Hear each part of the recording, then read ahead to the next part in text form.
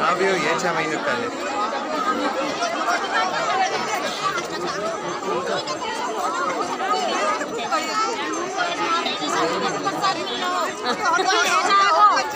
हकीकत में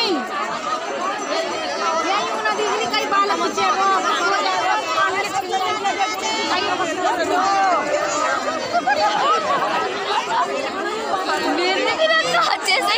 से ही